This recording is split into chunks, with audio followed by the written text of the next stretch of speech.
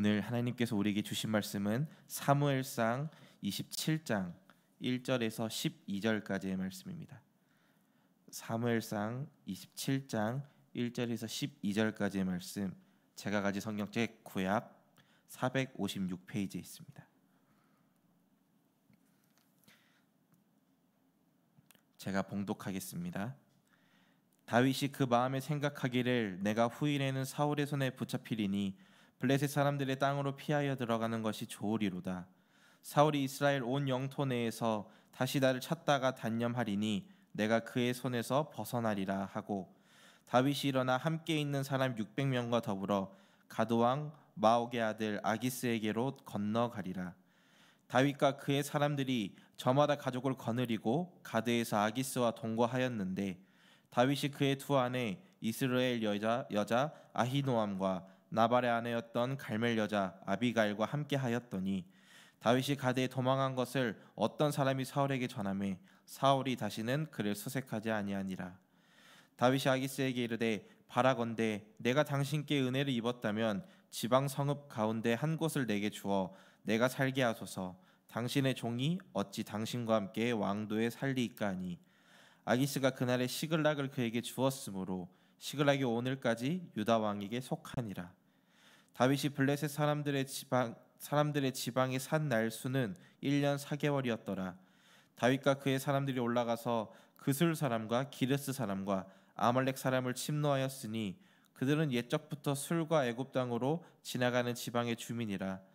다윗이 그 땅을 쳐서 남녀를 살려두지 아니하고 양과 소와 나귀와 낙타와 의복을 빼앗아 가지고 돌아와 아기스에게 이름해 아기스가 이르되 너희가 오늘은 누구를 침노하였느냐 하니 다윗이 이르되 유다 네겝과 여라무엘 사람의 네겝과 겐 사람의 네겝이니이다 하였더라 다윗이 그 남녀를 살려서 가드로 데려가지 아니한 것은 그의 생각에 그들이 우리에게 대하여 이르기를 다윗이 행한 일이 이러하니라 하여 블레셋 사람들이 지방에 거주하는 동안에 이같이 행하는 습관이 있었다 할까 두려워함이었더라. 아기스가 다윗을 믿고 말하기를 다윗이 자기 백성 이스라엘에게 심히 미움을 받게 되었으니 그는 영원히 내 부하가 되리라고 생각하니라. 아멘. 오늘도 주님의 말씀을 사모하여 나오신 이 자리에 나오신 우리 성도님들과 그리고 7시 함께하는 우리 성도님들을 주님의 이름으로 축복하고 환영합니다. 주님께서 주신 이 귀한 시간을 통해 주님 말씀으로 힘을 얻고 은혜를 받고 그리고 각자 가지고 나오신 기도가 응답받는 시간들이 되시기를 주님의 이름으로 간절히 소망합니다. 따스한 햇살과 선선한 바람이 불고 이제 나무에 꽃망울이 맺힌 걸 보니 이제 봄이 된 것 같습니다. 이 이런 상황 속에서 이제 각자에게 편안한 시간을 보내시면서 주님께서 지으신 이 아름다운 세상을 기쁨으로 바라봄으로 쉼을 얻고 힘을 얻는 우리 성도님들이 되시기를 바랍니다.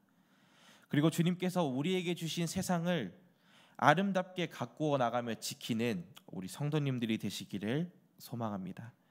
저는 오늘 여러분들과 사무엘상 27장 1절에서 12절까지의 말씀을 가지고 끝까지 믿음으로 나아가는 삶, 끝까지 믿음으로 나아가는 삶이라는 제목으로 같이 말씀을 나누고자 합니다. 사무엘상 말씀을 통해 주님의 인도하심에 대해 배우고 있습니다. 주님의 사람으로 기름 부음 받은 다윗은 여러 고난과 역경이 찾아오면서 떠돌이 생활을 하게 됩니다. 이런 다윗의 모습을 통해 우리 인생에서도 역경과 고난이 찾아왔을 때 나의 힘이 되어 주시는 하나님만을 바라보야 한다는 것을 발견하고 볼 수 있습니다. 오늘 말씀에서도 다윗의 모습을 통해 찾아볼 수 있게 되는데요. 같이 말씀을 살펴보도록 하겠습니다. 오늘 말씀인 27장과 이제 다음 말씀인 28장에서는 기름 부음 받은 두 사람인 사울과 다윗의 모습이 그려집니다. 둘 다 자기의 방법대로 행동하게 되는데 그 결과는 다르게 이어집니다. 다윗은 사울의 추격으로 이미 지친 상태였습니다. 자기에는 처자식이 있었고 부하도 600명으로 불어났기에 큰 결단을 내려야만 했습니다. 사울에게 가기에는 이미 사울이 자기를 죽이려고 쫓아왔기에 바로 죽을 죽을 터이고 블레셋으로 가기에는 이스라엘과 사이가 안 좋았기에 다윗에게는 진퇴양난의 상황이었습니다. 그러한 상황에서 다윗은 조금 더 나을 것 같은 결정을 하게 되는데 바로 블레셋으로 가는 것이었습니다.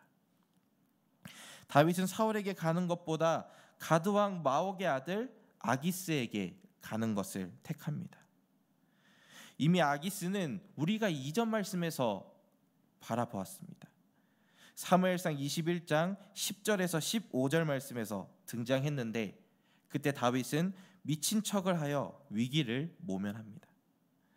그런 수치를 겪은 다윗이지만 다시 한번 그에게 돌아가는 선택을 하게 됩니다. 다윗에게 그 선택은 얼마나 힘들었을까요? 자기는 단지 하나님께서 인도해 주심을 따라 순종하고 나아가기만 했는데 죽을 수 있는 상황과 수치스러운 행동을 하면서까지 살아야 하는 그 상황이 다윗을 힘들게 했을 것입니다. 하지만 다윗은 그러한 상황에서도 잊지 않았던 것이 있었습니다. 바로 주님의 인도하심에 순종했습니다. 자기에게 벌어지는 위험에 지치고 하나님을 원망할 수도 있었지만 다윗은 그 상황에서도 주님을 의지했고 그리고 곤경에서 벗어날 때마다 하나님을 찬양함으로 이겨낼 수 있었습니다.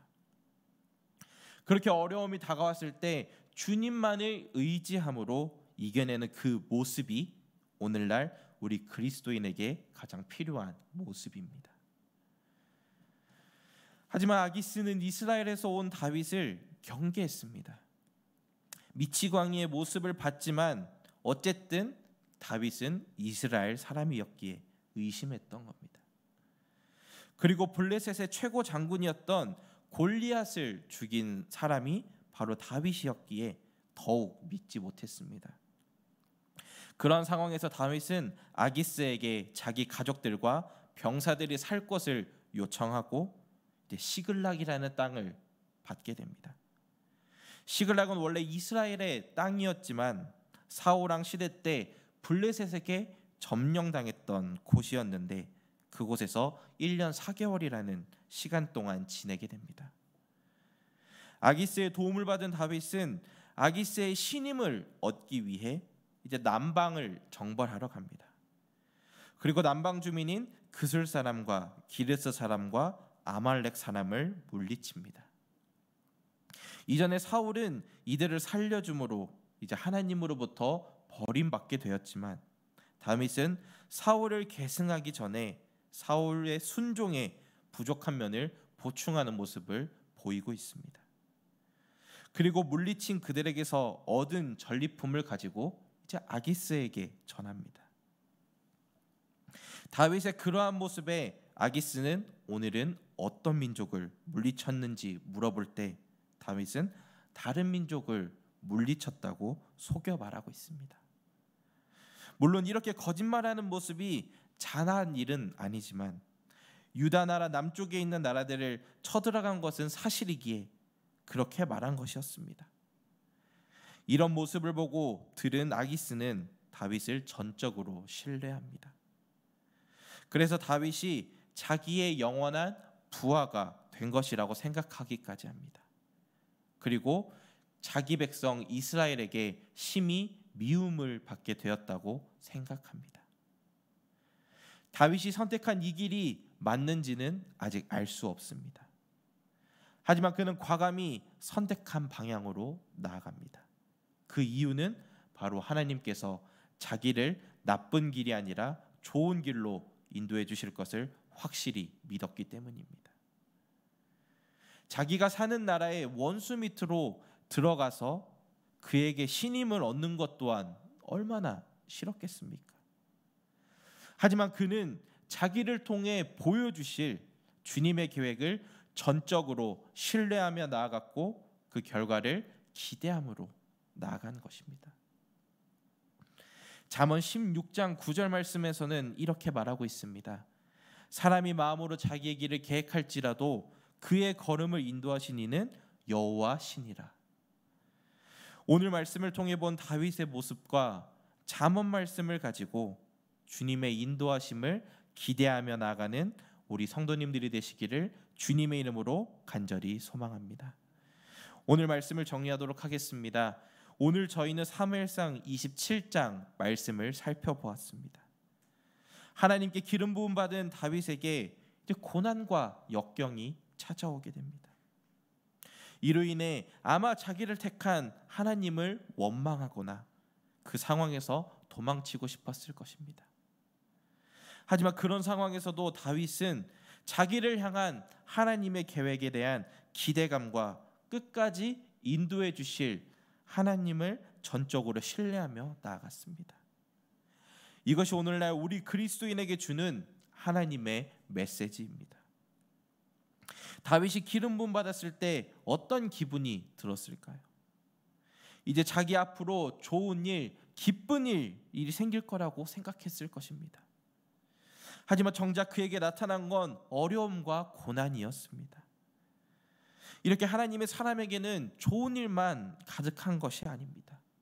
하지만 이러한 과정 가운데 중요한 것은 그러함에도 불구하고 우리를 향한 주님의 계획을 기대하는 것입니다. 저희는 지금 사순절을 보내고 있습니다. 우리가 잘 알듯 사순절의 주인공은 이제 우리 예수 그리스도이십니다. 예수 그리스도 또한 유대인의 왕의 왕으로 이 땅에 오셨지만 그 왕의 모습은 우리가 흔히 아는 왕의 모습이 아니었습니다.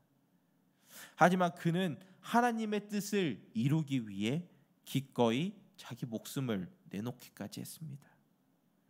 물론 자기에게 주어진 상황에서 도망칠 수 있었지만 그는 하나님의 계획을 의지하고 나아갔습니다.